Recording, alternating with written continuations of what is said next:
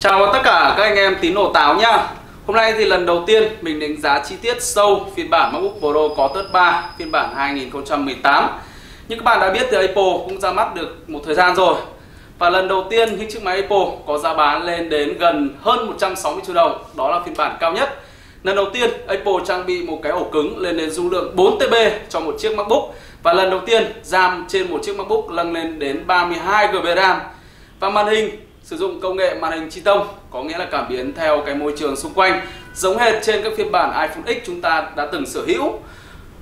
Có một điều mà hơi đáng tiếc một chút cho phiên bản năm 2018 thì các bạn đều biết, mặc dù nâng lên vi xử lý Core i9 hoặc Core i7 thế hệ thứ 8 nhưng lại cả màn hình vẫn dừng lại ở Radeon Pro 5555x có nghĩa là vẫn là dung lượng 4GB thì đây nếu tính ở thời điểm hiện tại thì đây quả là một mức giá thành rất điên cho một phiên bản MacBook giá vừa đắt mà cấu hình. Nếu như so sánh với các thiết bị trên thị trường hoặc một cái số thiết bị hãng laptop chạy Win thì đây quả là một giá thành rất đắt cho những cái phiên bản cấu hình tầm trung. Bởi vì các bạn thử biết nếu mà vi xử lý Core i9 chẳng hạn 6 lõi 12 luồng, đắt nhất đi. Ổ cứng 4T và RAM 32GB nếu như tính ở một chiếc laptop thông thường thì nó sẽ có giá khoảng 100 triệu đồng Có nghĩa là Apple sẽ đắt hơn khoảng 50 triệu. Nhưng mà Apple thì vẫn là Apple Mà laptop Win thì vẫn là laptop Win. Mình chỉ làm một cái bài so sánh chung để cho anh em thôi. Và Apple thì họ luôn làm những thứ mà độc quyền Và họ luôn làm những thứ mà, các bạn nghĩ. Còn hôm vừa rồi thì anh em đều biết là rất nhiều bài đánh giá trên mạng về nhiệt à, cái hình thức chẳng hạn như là Core i9 sử dụng không ổn định rồi Core i thế hệ thứ 8 chạy trên các sản phẩm MacBook chạy với xung nhịp không đủ. Nhưng mà hôm vừa rồi thì rất may rất rất rất là may đó là Apple đã cập nhật phần mềm.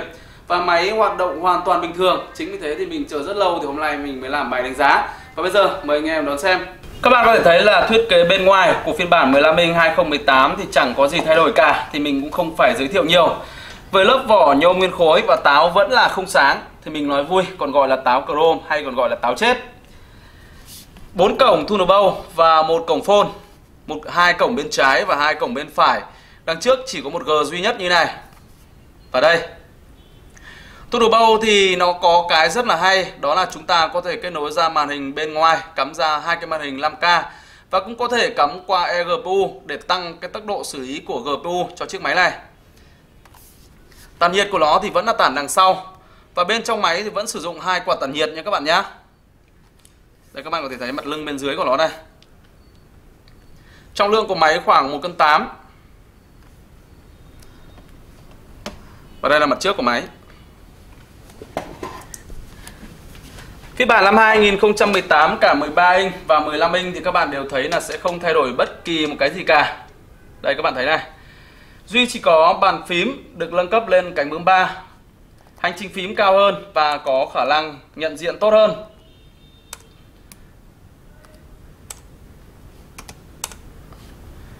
Cái nâng cấp đáng kể nữa đó là màn hình chi tông với độ sáng lên đến 500 lít và giải màu tăng lên 25% sRGB.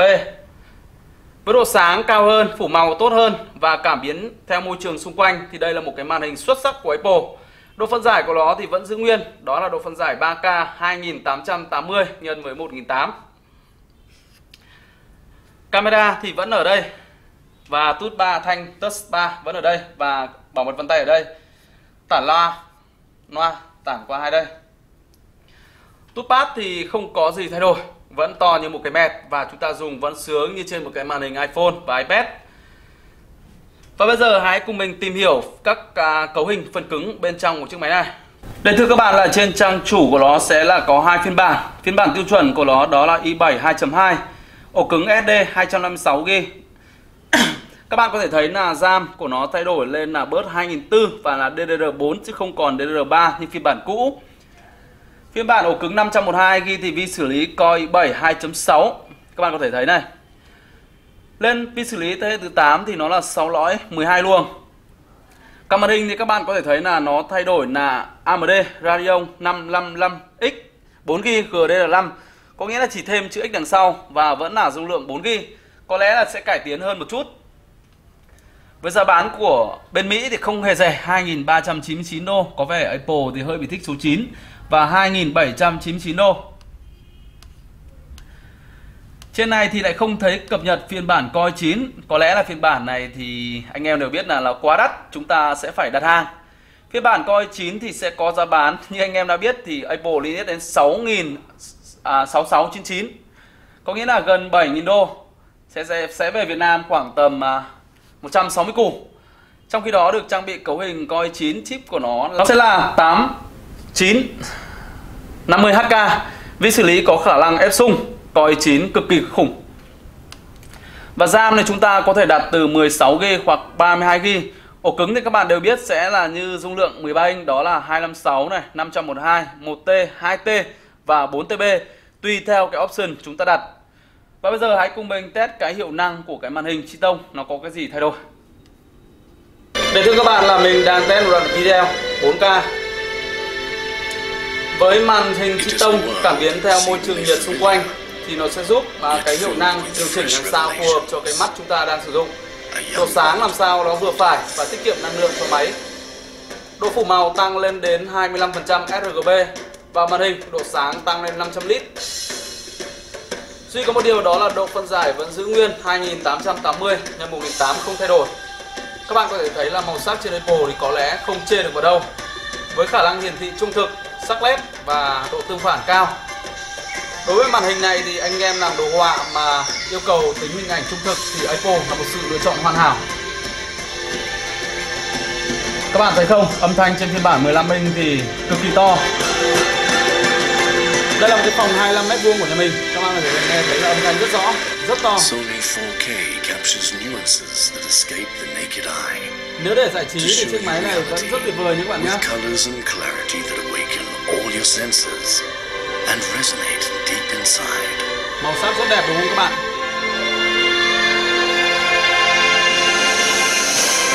Và đã thay đổi góc nhìn và chúng ta vẫn nhìn rất rõ trên màn hình.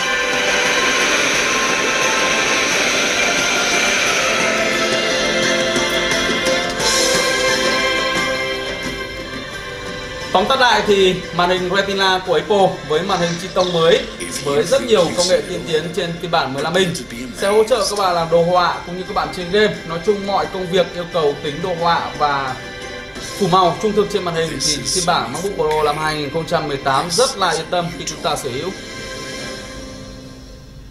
Đây là thì phiên bản có tất 3 15 inch 2018 những thay đổi đầu tiên CPU nâng lên thế hệ thứ 8 và lần đầu tiên có vi xử lý Core i9 và lần đầu tiên có MacBook 32GB RAM.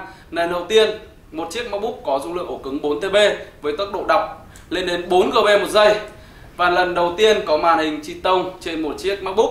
Nói chung đây là những cái điểm đáng để nâng cấp cho phiên bản năm 2018 và theo Apple giới thiệu thì nó nhanh hơn đến 70% so với thế hệ MacBook cũ và một điều nữa để những cái này thì một thời gian sau chúng ta mới đánh giá hết Hôm vừa rồi thì một những cái bài và rất nhiều anh em đánh giá trên mạng là hoạt động không ổn định, quá nhiệt vân vân và vân vân. Và bây giờ thì đã fix lỗi rồi, phần mềm máy chạy khá là êm. Nhưng mà có một cái nhược điểm nữa vẫn chưa được trên các phiên bản năm 2018 đó là chiếc MacBook nếu chạy hiệu năng cao, nóng vẫn hầm hập. Nếu chúng ta để trên đùi vào mùa hè thì phải nói với các bạn rất là nóng. Bởi vì tất cả những dòng sản phẩm trên MacBook thì anh em đều biết là tản nhiệt nó khác, đó là tản nhiệt có vỏ và máy của nó khá là mỏng. Dù gì thì chắc chắn không thể bằng tản nhiệt bằng một cái máy gaming hay một cái máy đồ họa chuyên nghiệp của hãng khác. Thì chúng ta có một điều chúng ta vẫn phải chấp nhận đó là máy nó sẽ hơi nóng. Nói chung là nóng chứ không phải là hơi nóng. Hiệu năng cao rất nóng nếu để trên đùi trắng trứng luôn được. Nhưng đây là một nhiệt độ hoàn toàn cho phép và chúng ta vẫn dùng trên một chiếc MacBook để chúng ta làm đồ họa hay để chúng ta render trên một chiếc máy 15 inch nó hoàn toàn vẫn đáp ứng được và đủ tiêu chuẩn để chạy năm 2018 thì đây cũng quả là một điều chúng ta không thất vọng cho lắm. Duy chỉ có một điều đó là giá thành của nó quá là đắt đỏ.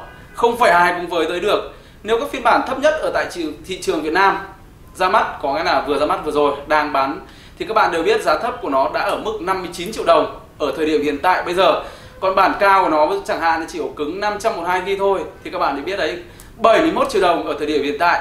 Còn nếu chúng ta option các phiên bản như là ổ cứng 2T hoặc 4T hoặc RAM 32 GB thì với giá đô hiện nay là 23,3 sách về Việt Nam ở mức gần à, nhầm nhầm qua 7.000 đô khoảng gần hơn 160 triệu đồng. Thì đây không phải là một giá thành mà bất kỳ một cái cái fan hâm mộ nào cũng đủ kinh tế để chúng ta sở hữu một chiếc MacBook như này. Còn chốt lại về vấn đề kỹ thuật thì máy phiên bản năm 2018 của Apple vẫn hoàn toàn đảm bảo được. Chính vì thế, tất cả những cái fan hâm mộ dùng các sản phẩm Apple, hãy yên tâm. Đã thích thì chúng ta cứ chơi thôi. Còn nếu mà có sản xuất lỗi thì đã có Apple họ fix. Còn nếu lỗi hẳn thì chắc chắn chúng ta sẽ có quyền trả lại máy.